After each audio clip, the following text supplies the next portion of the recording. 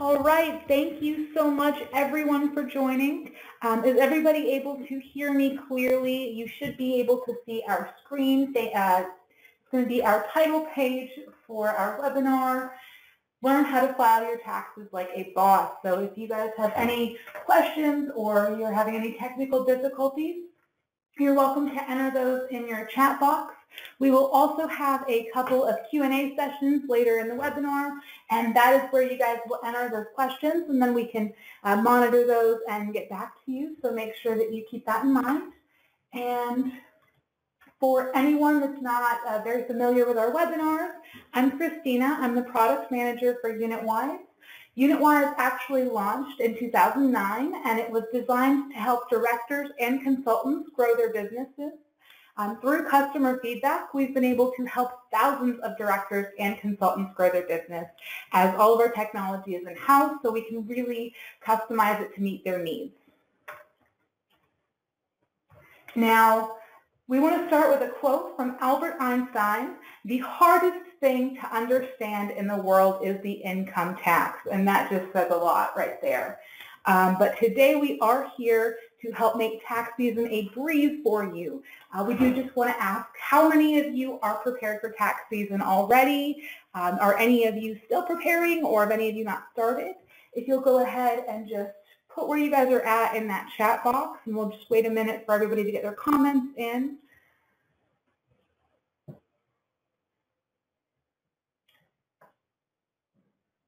So it looks like uh, Stacy says that she's almost ready. And Jesse plans to get everything together this weekend, um, which is which is great. Um, and Anna is not even close. So we are we're going to have some tips for all of you guys. We actually have a very special guest today to share some tips that will help you avoid the stress and anxiety caused by tax time and file your taxes like a boss. She is very busy this time of year, but she's graciously agreed to join us today. Welcome, Jaracel, the product manager at Tax Bandit. Thank you so much, Christina. Hello, everyone. Um, as Christina just mentioned, I am here on behalf of Tax Bandit, and we're a cloud-based software solution um, that is really meant to automate your business tax filing needs from one single location.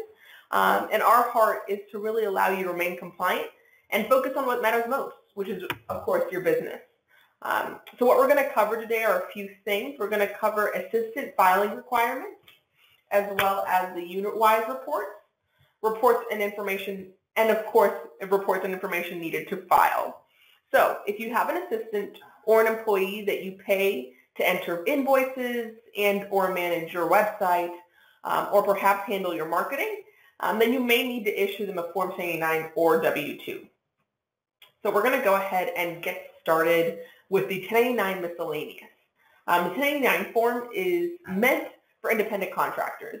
Um, and independent contractors are individuals that you hire for a specific task, um, typically for a short amount of time. So if you have an individual who you pay $600 or more during the course of a year, you will need to file and issue a 1099 miscellaneous form to this vendor um, or contractor. And the deadline for this 1099 miscellaneous is tomorrow, January 31st. Um, so time is of the essence when filing this form. Um, but again, we'll give you a few more options uh, if you're a little late to the game a little later on in the webinar. On the other hand, we do have W-2s, uh, which are filed and distributed for employees. Uh, and so employees are defined as individuals that work for you on a regular basis um, and are not necessarily exclusively um, hired for any one task, but again, are paid more than $600 during the course of a year. Uh, and the deadline for this W-2 form is again January 31st to be filed with the SSA as well as to be distributed with the recipients. Um, a few things have changed with the W-2 um, regarding, again, extensions if you are a little bit behind. But again, I'm giving too much away. We'll cover that in just a sec. Um, so as their employer, you will need to withhold uh, Social Security and Medicare over the course of the previous tax year, and that's what you're really identifying in a W-2 along with the wages that were administered. Um, and so here at Tax Bandits, our goal is to use an easy-to-understand interview-style format um, so that you can get these forms filed without the complicated IRS jargon. We leave all of that out for you. And I wanted to go ahead and continue the conversation um, by discussing the Form 941. So the Form 941 is an employer's quarterly federal tax return, and it's used to report employment taxes. Uh, so as a small business owner, you are required to file Form 941 four times a year. Um, and you're responsible for withholding federal income tax, Social Security tax, and Medicare tax um, for your assistance paycheck. Now, in addition to the 941 form, you may also need to file the Form 940, which is the employer's annual federal un unemployment tax return, or otherwise known as FUTA tax. Um, and as an employer, you must fill out and submit this Form 940 to the IRS annually. I do want to go ahead and take some time to remind you of some of the upcoming deadlines, primarily our deadline for tomorrow, uh, January 31st. We do start off with the W-2 form. Um, we also have the 1099 miscellaneous form that has a January 31st deadline, uh, the 940 form, as well as the 941 fourth quarter. So I did want to now bring up, um, for those of you who might feel a little bit behind the game, um, extension forms. And these are invaluable for this time of year. If you are unable to file your 1099 miscellaneous, um, by the January 31st deadline, you can apply for an automatic 30-day extension um, by completing the Form 8809 by January 31st. Um, so that's crucial. You that you know that opportunity is there for you, but it has to be done um, by or before the January 31st deadline in order for it to go into effect. However, regarding the W-2, as I mentioned before, it's a little bit trickier. Uh, the IRS does not encourage extensions for W-2s any longer, um, which is why you can no longer e-file for an automatic extension when it comes to W-2. Uh, you now have to paper file and petition for an extension. Um, and the way the IRS set it up now is that those are only granted in, in extraordinary circumstances. So um, they really are trying to steer people away from seeking those, time, those W-2 extensions. Um, but if anyone has yet to file and needs to do so, um, please do so immediately, and we can go ahead and assist you with any of your filings for your employees and your contractors alike um, on the taxbandits.com website. Um, there we, we provide step-by-step -step instructions um, for filing without the complicated IRS terminology. Um, and we are also IRS authorized um, and we have a software that can transmit all of your required forms to the IRS and SSA respectively uh, as well as send those copies to your recipients. And we'll have all those uh, recipient copies out and printed by the next business day just to make sure that you are compliant. All right, um, now we have reached one of those Q&A sessions that we mentioned a little bit earlier. If any of you guys have any questions for Jarisol, go ahead and enter those in that chat questions box now, and I'll just go ahead and read those to her and she can, she can answer your questions.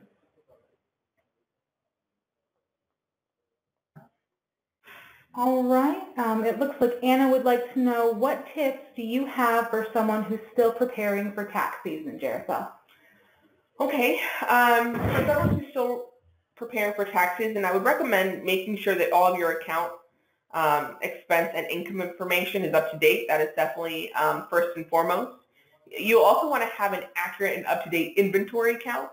Uh, I know that that can be really stressful, um, even thinking about keeping up with all this information, which is why um, business management tools like UnitWise are so crucial uh, because I know that as a UnitWise member, you guys have access to tons of account reporting and inventory features um, that are really vital when it comes to filing those tax forms.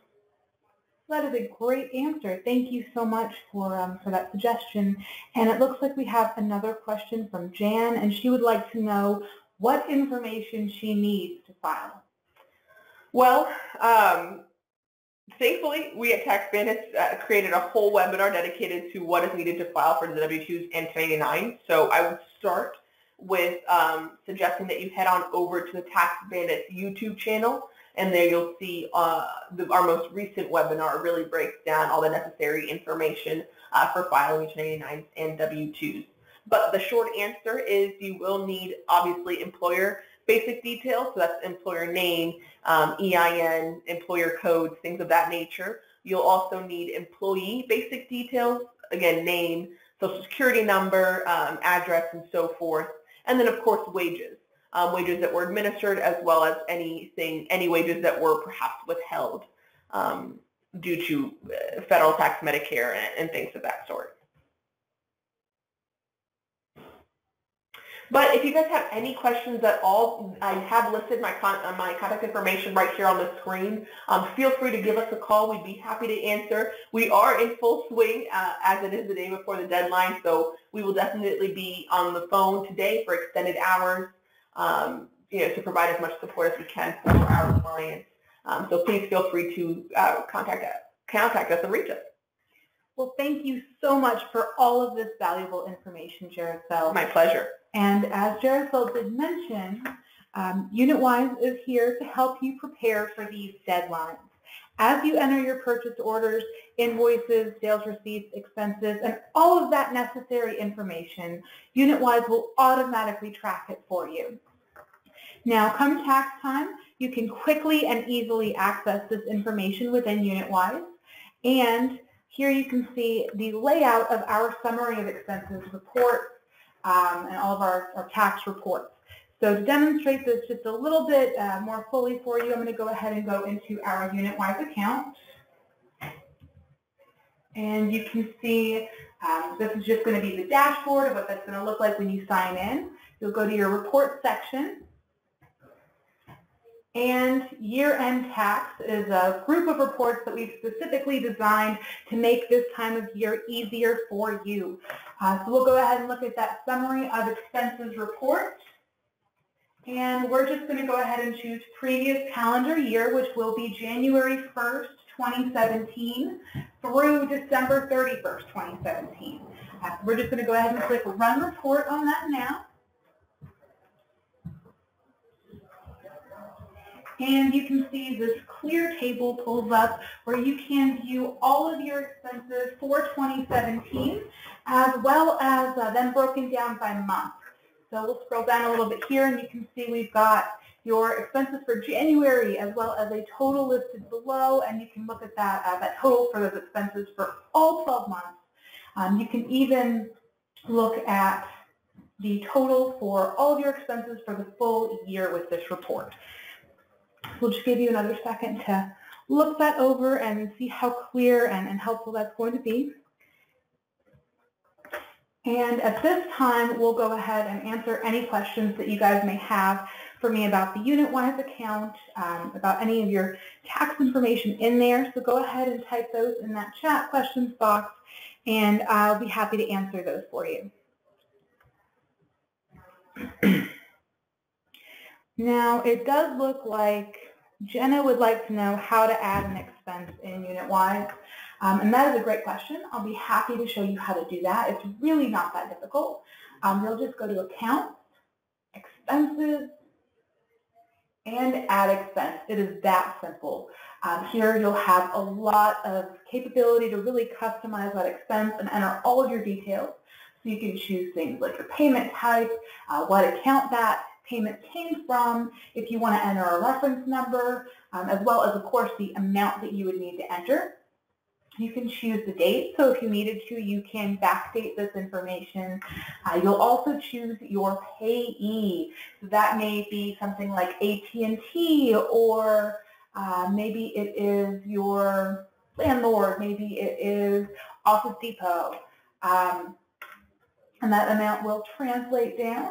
Now you can make this expense repeat, so you don't have to keep entering recurring expenses if it's going to be something that you're going to have to deal with every month, like maybe a, work cell phone bill, something like that. You can go ahead and choose to make that repeat so you don't have to enter it every month. And uh, from there you'll choose which expense account it goes to. So maybe um, maybe I have somebody handling my advertising for me or uh, anything like that. And you even have the option to add a receipt image to this expense. So if you have a paper receipt, you want to make sure you keep track of that information as well. You can add that here. Um, now it looks like we have a couple more questions. Um, Debbie would like to know what the connection uh, between UnitWise and Tax Bandits is. And that is an excellent question, Debbie. We are actually sister products of the same parent company, so we are both products of Span Enterprises. And it looks like Sarah would like to know what a payee is. And that's a great question, Sarah.